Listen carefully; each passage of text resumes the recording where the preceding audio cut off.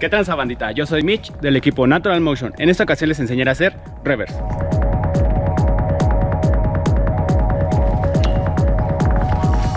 Primero buscaremos un sitio como este. Que no esté más alto que nuestra cintura, ya que esto nos ayudará a poderle perder el miedo al movimiento.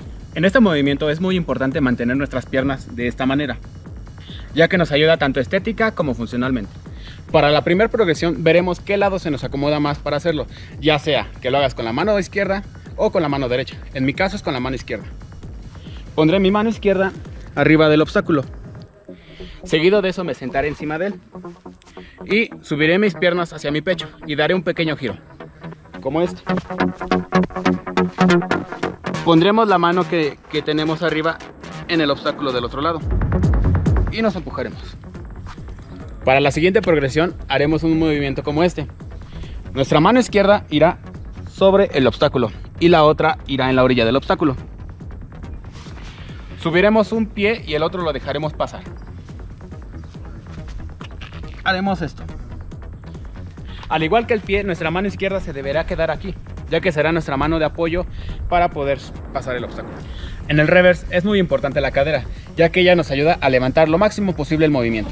El levantamiento de la cadera será de esta manera, con tu mano sobre el obstáculo y la otra en la orilla. Harás un movimiento parecido a este. La mano que está sobre el obstáculo será muy importante, ya que se nos servirá de apoyo para poder girar.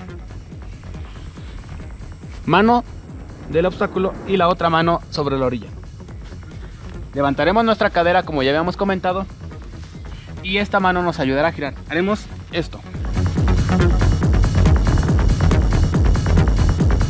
Lo que haremos ahora será tratar de girar completamente el reverse. Lo que haremos ahora será completar el movimiento. Nos apoyaremos de nuestra mano que está encima del obstáculo, de nuestras rodillas y cadera. Recuerda que tus rodillas deben ir a favor de la carrera, ya que así evitaremos lesiones y nos ayudará a poder concluirlo con otro movimiento.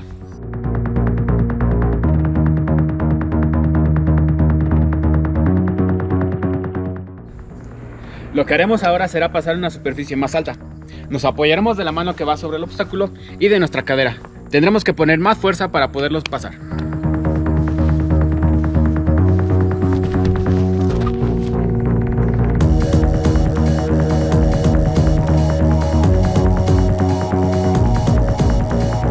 Un pequeño tip. Si te da miedo hacerlo de una superficie más alta, volvemos al primer paso del tutorial, que será subir el trasero a la barra. Sería de esta manera. Recuerda que la mirada es muy importante, ya que la mirada nos ayuda a mantener el equilibrio y a ver hacia dónde vamos en el reverse.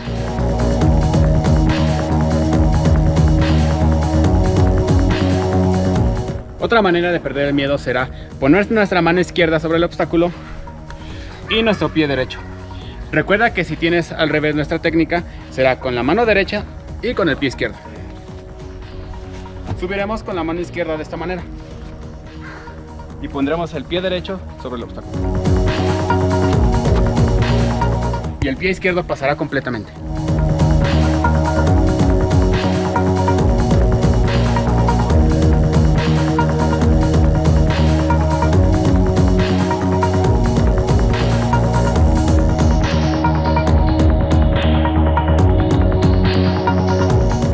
Bueno amigos, esto ha sido todo por hoy. Recuerden suscribirse y activar la campanita, ya que estaremos subiendo contenido cada semana. Hasta la próxima.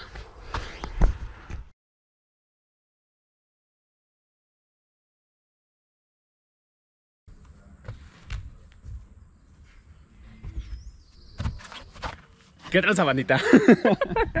Importante mantener las piernas rectas, no rectas, no en este movimiento es muy importante mantener flexionadas nuestras piernas de esta manera. Nos apoyaremos de nuestra cadera y de nuestra mano que está encima del, del, del movimiento.